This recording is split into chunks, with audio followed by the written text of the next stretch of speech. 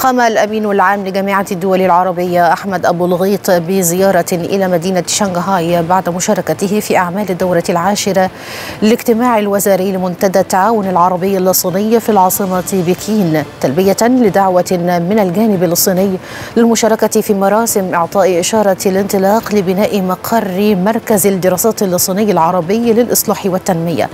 هذا وصرح المتحدث باسم الأمين العام بأن المركز يمثل مبادرة مهمة من الجانب الصيني لتعزيز العلاقات الثقافية والأكاديمية والعلمية مع الجانب العربي.